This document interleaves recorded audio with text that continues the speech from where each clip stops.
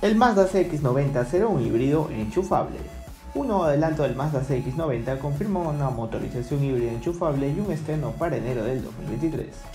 Hace un mes, Mazda hizo un primer adelanto de lo que será el CX-90, un nuevo sub con tres filas de asiento y 7 puestos diseñado principalmente con el mercado estadounidense en mente.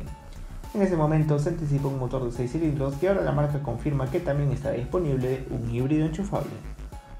Así como en el anterior anticipo una imagen que apenas dejaba ver la insignia Inline 6 que servía como la revelación, para esta ocasión Mazda tomó una ruta similar dejando algo más al descubierto.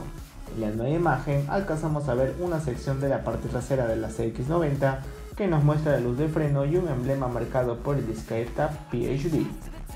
Sin más datos al respecto por el momento, la apuesta más segura en cuanto a esta motorización híbrida para el Mazda CX-90 sería la misma que equipa el CX60 en Europa, un 2.5 litros de 4 cilindros emparejado con un motor eléctrico para una potencia máxima de 323 caballos y 500 Nm de torque. Previsto para mostrarse en enero del 2023, cuando el Mazda CX90 llegue al mercado estadounidense en algún momento del próximo año, se ubicaría como el modelo más grande de la marca, incluso por encima del actual CX9. A propósito de este, aún no se sabe si será reemplazado por el CX90 pero a juzgar por lo sucedido con el CX50 y CX5, es probable que al menos inicialmente ambos sean comercializados de lado a lado.